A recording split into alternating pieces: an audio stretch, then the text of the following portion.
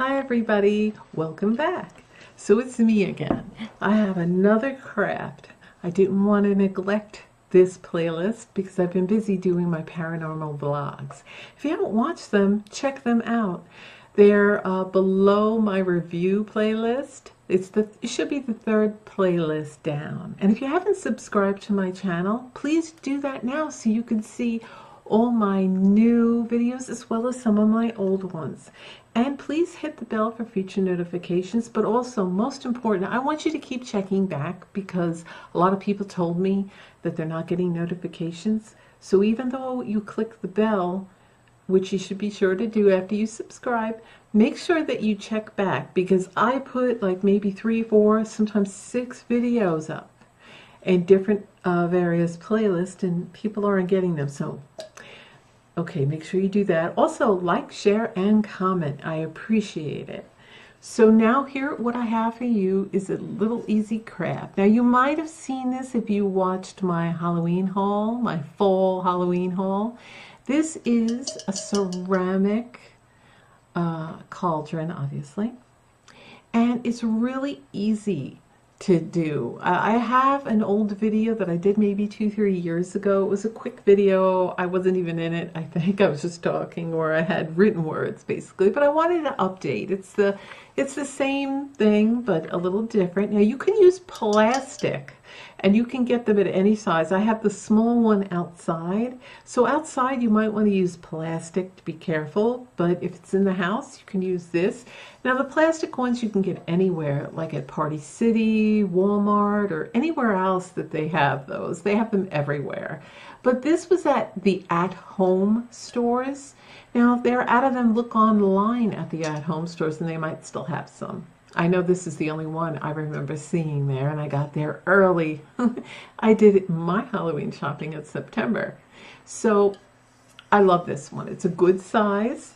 Now, how you make it lit up, and I'm going to show you with the lights off in a minute. All you need is some green cobwebs. And you can buy a package of them anywhere at spirit stores, uh, Party City, and you want the green one, not the white, because it won't have the same effect. And now you don't have to use the whole package. The package of them, they usually give you a lot more in the green package than they do with the white cobwebs. And I've actually made like three separate bowls with this. One's outside, one's here, and then this one. Because you don't need to use the whole thing.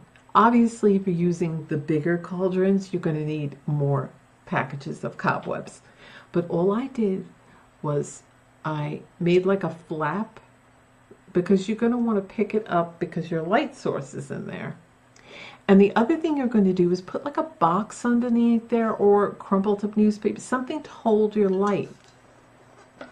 So the light that I use is one of these. Now, you can get these mostly anywhere. I got them at my grocery store, and my grocery store is Wegmans. So if you have a Wegmans by you, you will see it in the holiday aisle, you know, where they have all the Halloween stuff and candles. And I like what I like about this is that the on off button is right here and you don't really see it but it's right there and it's great because this lays like that and I could just go like that instead of having to pick it up turn it around you don't have to do that and it has three settings so now I don't know if you can see one's strobe another one's like a yellow steady blinking and this is the third setting. This is the setting I use because it changes colors. And then I just lift up the flap and I put it in there. And then you want to arrange your cobweb so it looks like it's bubbling over. You might have to pull and stretch and trim some excess off because you don't really, like I say, need a lot. And you want to make it look like it's bubbling. And you could always drip. Now, if you have a plastic one, you could always drip like red candle wax for the plastic ones. Of course, I didn't want to do that here, but with the plastic ones, you could even draw or paint something if you're a good drawer, good artist, and put something that says Witch's Brew as well as some Halloween stickers. You can glue uh, some spiders or a hand coming out or stick some fingers and eyeballs in there and glue gun them because you will be moving that to do that. So I thought that was an easy way and I'm going to shut the lights off so you can see it in action. And that's what it's going to look like. And you can arrange this. I messed with it so it's so you know it so it looks even and all puffy and looks good in the dark. So I'm going to put it over here. Okay, so I'm going to move the camera so you can get a look. I put it on a little candle stand.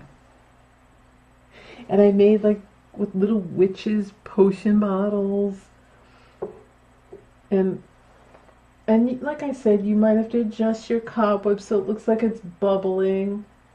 You might want to make it puffy, and that's it. It's like a green blinking cloud.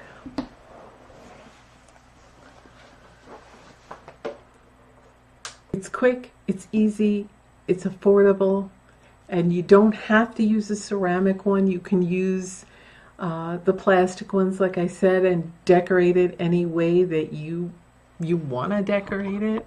I like that one. I, I prefer the ceramic one in the house and the plastic outside because anything can happen, wind can knock it over, and it's safer.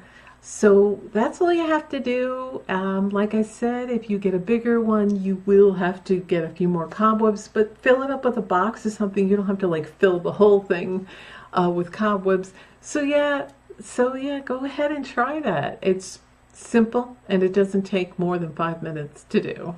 Okay, well I hope you like that quick and easy affordable craft and I will see you on my next video. Thanks for watching.